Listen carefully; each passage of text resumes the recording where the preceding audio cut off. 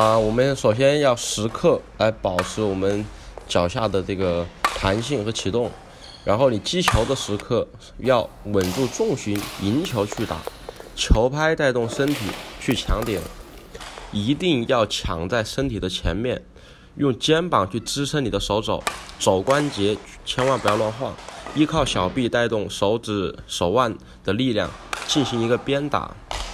收少打多，收少打多，我前期已经跟大家解释什么是什么意思了。没有看过收少打多的朋友可以去看一下收少打多的意思。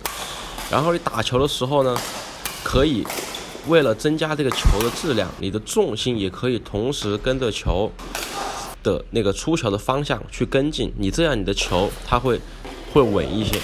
那处理这种反拍抽球的时候啊，大家在没有特别熟练啊有把握。那你千万不要要求太高，快速打过去是我们的第一选择。能够熟练快速打过网，再要求精准和角度，就是在我们双打的比赛当中，其实速度是要比角度和质量更重要的。你的速度只要够快，其实很多球都可以通过连贯的一个啊一个套路去把对方打死，然后进行得分。如果你每一拍球都是为了质量很好。要把它打得很完整，那有的球对方已经准备好了，你打得再好，他也有办法能够跟你回过来。所以说，大家打双打，你的啊速度是一定要放在第一位的。有了速度，再去要求精度和角度。然后我们在反拍进行抽球的时候，不管你是抽直线还是抽对角，一定要记住，一定要抢到第一时间赢球去打，快速处理。千万不要为了处理好这个球而放弃最高点，这个是非常不划算的。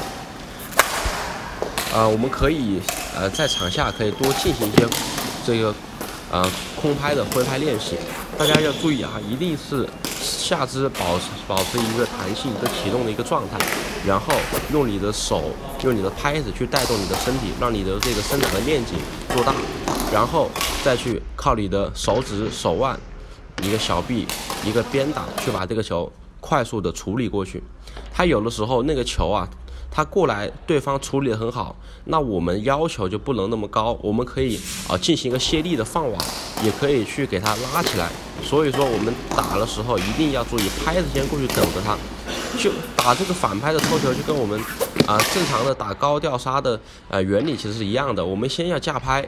我们第一个球拍带动身体的这个出来的，这个就叫做反拍的一个架拍，拍子架好了，是比什么都重要。拍子架好之后，你想再进行一个什么样的处理球都没有问题。